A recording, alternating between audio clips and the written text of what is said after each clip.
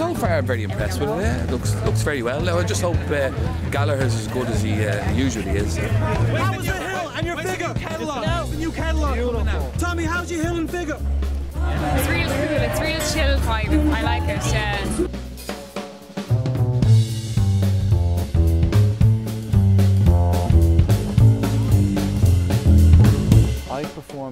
This festival since it began in 2007 and every year it is superb.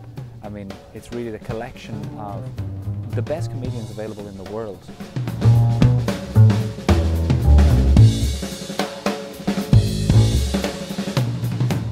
I don't know any jokes.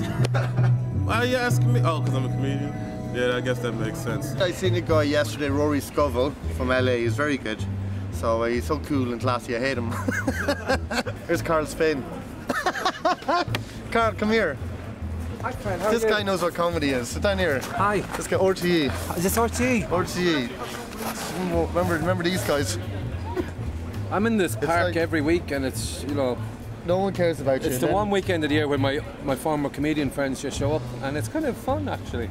We're giving you, we're using our tool, our tool, we're using our tool to make you happy. And that's what comedy is. Nothing is quite like what is happening here in the Iveagh Gardens. We're here for four days this weekend. We've got 36 shows featuring 75 comedians, street performers, musicians, really gorgeous bars, gourmet food, etc. And it's just a great weekend uh, to come into the centre of Dublin in probably the most beautiful gardens in the city.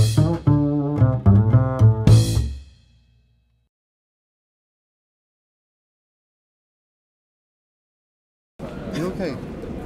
It's just television cameras. Just it's just taking me all back. Sorry. It's taking me oh, back now. Taking me back. That's so funny. I'll go to the toilet. So No, you continue your interview, Fred. So that's comedy.